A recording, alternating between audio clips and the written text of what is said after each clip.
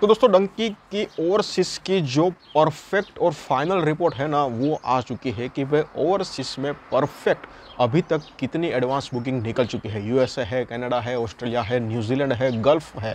सभी देशों में फ़िल्म की कितनी कितनी एडवांस बुकिंग हुई है और इंडियन रुपये में कितनी टोटल हुई है, सब कुछ आपके साथ शेयर करूँगा। साथ ही साथ इंडिया में कब रिलीज़ हो इंडिया में एडवांस बुकिंग कब स्टार्ट होगी?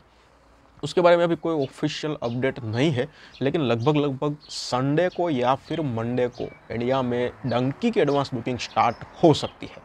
लेकिन ओवरसीज में अभी क्या रिपोर्ट है क्या हलचल है उसके बारे में चर्चा करते हैं। सबसे पहले यूएसए की बात करें तो 1226 शो है वहाँ पर 11,300 टिकट सोल्ड आउट हुए हैं एक लाख पचपन हज़ार दो सौ छप्पन डॉलर की एडवांस बुकिंग हो चुकी है यानी कि इंडियन रुपये में कन्वर्ट करें तो 1.28 सीआर की यूएसए से इंडिया एडवांस बुकिंग हुई है। यूएसए में सबसे ज़्यादा सबसे ज़्यादा एडवांस बुकिंग यूएसए में हुई है डंकी की भी और सालार की भी।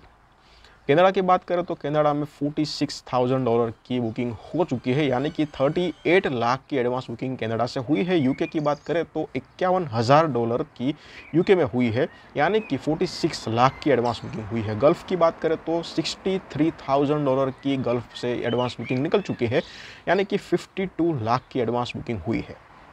न्यूजीलैंड की बात करें तो 79,000 डॉलर की एडवांस बुकिंग न्यूजीलैंड में हुई है 6.5 लाख की एडवांस बुकिंग निकली है।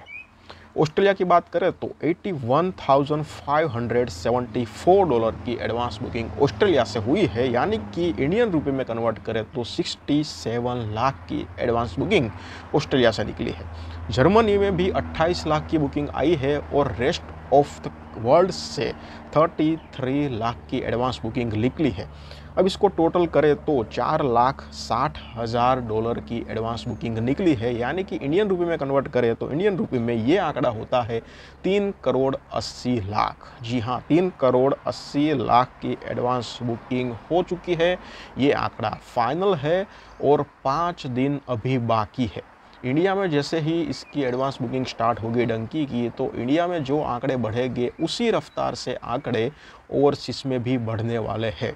तो लगभग लगभग हमारा प्रिडिक्शन जो था, लगभग लगभग डंकी का पहले दिन का ओवरसीज का जो कलेक्शन है, वो 15 करोड़ तक डेफिनेटली जाएगा। यानी कि पहले दिन डंकी की ओवरसीज से कलेक्शन 15 करोड़ आनी अभी तो तय है। बाकी पाँच दिन है कितने आंकड़े पलटेंगे, वो तो पाँच दिन में पता चलेगा। इंडिया में स्टार्ट हुई काफ़ी अच्छा रिस्पांस आने वाला है। साथ ही साथ ओवरसीज में भी काफ़ी अच्छा रिस्पांस आएगा। तो ये थी पहले दिन की एडवांस बुकिंग। पहले दिन जितनी हुई है ना, पहले दिन की, दूसरे दिन की नहीं, दूसरे दिन की रिपोर्ट तो अलग है। डंकी का पहले दिन का ओवरसीज से इतना कलेक्शन हो चुका है। देखते हैं जब जब रिपोर्ट आती रहेगी, आपके साथ वो रिपोर्ट भी शेयर करता रहूँगा। धन्यवाद।